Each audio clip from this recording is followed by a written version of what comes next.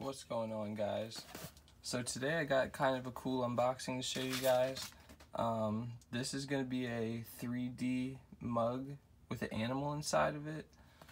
Um, yeah I haven't really seen anything like this. I got it off of Amazon for $9.99 so check it out guys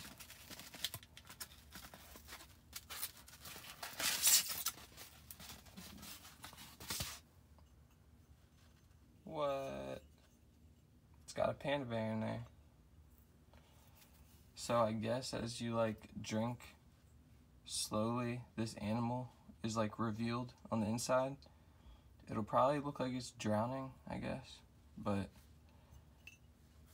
I guess that's kind of cool. Um, yeah, it's just a coffee mug or a teacup. I never really saw anything like this before. It's made by a company called ZAH, ZA 3D Animal Mug. It's made of ceramics, it's durable and heat resistant. The exterior is just like mint colored.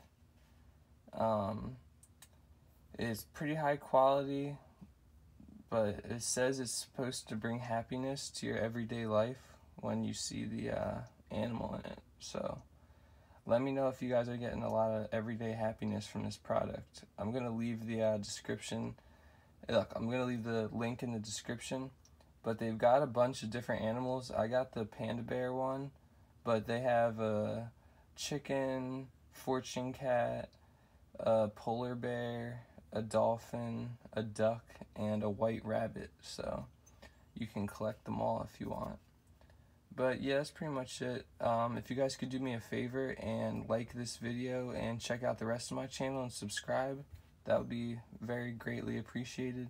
I'm trying to get to a thousand subscribers, just like everybody else. So yeah, help me out. Alright, thanks for checking out my video. Peace.